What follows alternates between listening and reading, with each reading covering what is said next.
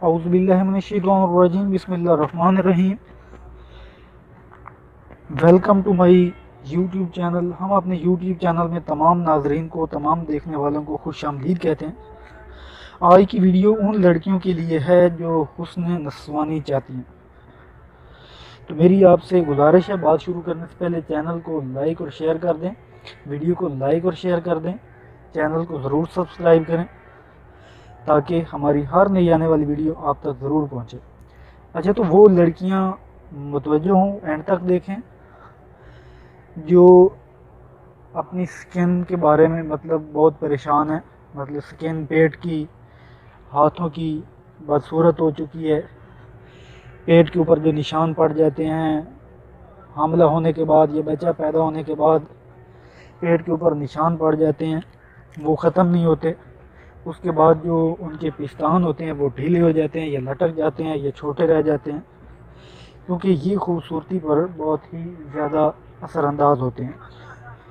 ठीक है तो आज आपको एक ऐसा तरीका बताने जा रहे हैं जिसे आप अपनाएँगी तो इन आपको हमेशा ये तरीके पुरकशिश बना देंगे। तो आपने करना क्या है? वो लड़कियाँ भी मतवजो जिनका पेट बढ़ चुका है। तो आपने करना क्या है? आपने ये करना है कि आपने तकरीबन आधा किलो कलवंजी लेनी है। उसको पिसवा लेना है। पिसवा के आपने रख लेना है। और रोज़ाना एक चम्मच कलवंजी मुँह निहार आपने एक गिलास पानी के साथ खानी है। ये करना है और आपने नींबू का रस निकाल कर ले, रख लेना है एक बोतल में।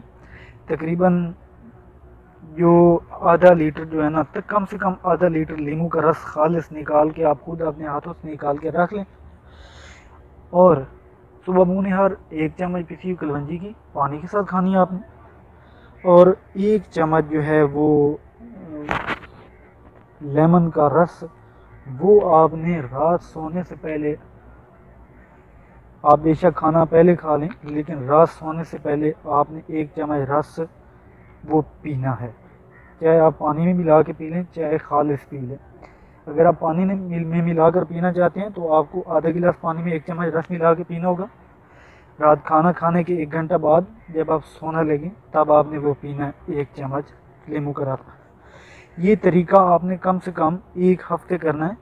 अगर आप ये तरीका एक हफ़्ता अपना लेंगी तो इन आप हुसन रसवानी से बिल्कुल लुफानंदोज होंगे।